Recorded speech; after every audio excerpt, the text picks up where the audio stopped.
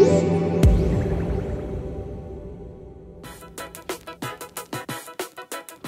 Hey everyone, at I.O. 2018, Google debuted a couple new features for ARCore, their augmented reality platform for Android. One of the new features is called Cloud Anchors, and that basically enables developers to create these collaborative experiences, not just with Android phones, but with iOS phones as well. One of the new experiences is called Lightboard, and this is sort of an in-house demo that Google is debuting just to sort of see how this collaborative experience works. So Lightboard, this is an iPhone, and uh, so it's, it's a good way to see how this exactly works. So now we're standing next to this pixel over here where we're trying to pair this collaborative experience. We're mapping out this table right here, and now I think now we just have to click join.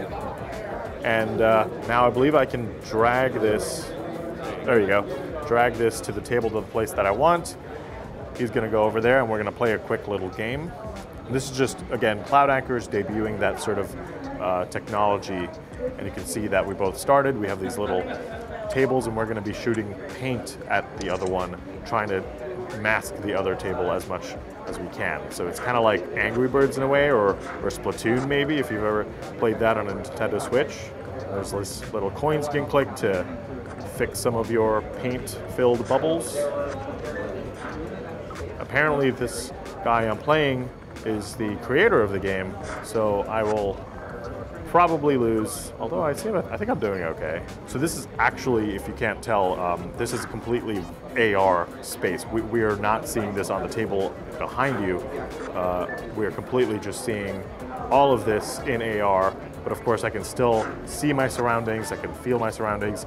We're completely in this AR space where we're projecting uh, things to this table right here. Completely normal table, nothing special added to it. It was all through the new AR Core experience. And of course I lost because that guy created the game, so I'm gonna just say that's the reason why I lost. But so that's Cloud Anchors and that's a quick look at how that's a new feature with AR Core and it's to enable a lot more shared collaborative experiences between iPhones, Androids, and just about any other phone.